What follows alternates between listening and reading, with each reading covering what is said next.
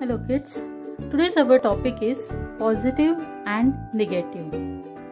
So for that I have drawn a big rectangle. The biggest which is possible after drawing a border I have just uh, left 2 centimeters space from each side and I have drawn a big rectangle. Okay now we are going to uh, draw some lines here and it will create a pattern and we will be coloring that pattern to show the positive and negative effect. Positive means we are going to color it with white color and negative means we are going to color it with black color. So I am drawing some 5-6 random lines here and there and some intersecting lines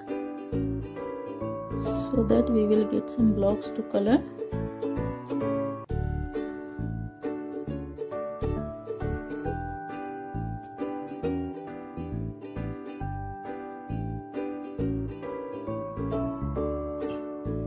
Make sure that these blocks should not be very big and it should not be very small otherwise it will be difficult to color.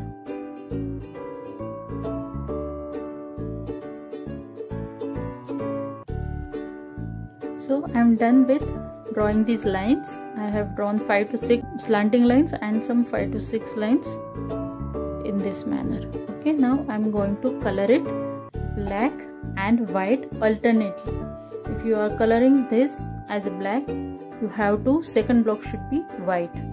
And up, uh, below the black it will be white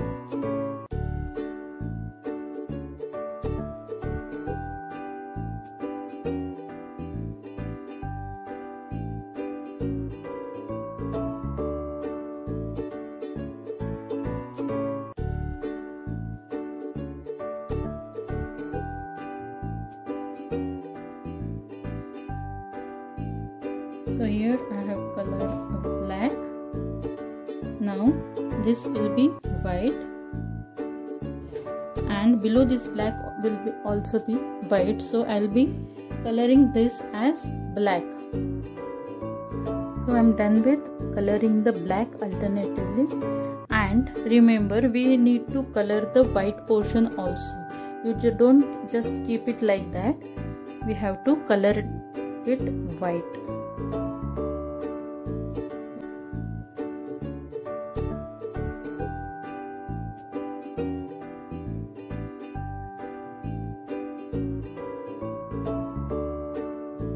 We have to color all the remaining blocks with white color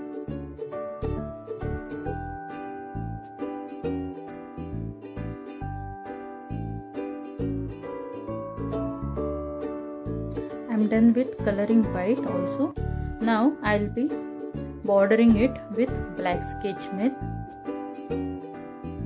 so after bordering with black sketch pen this is the final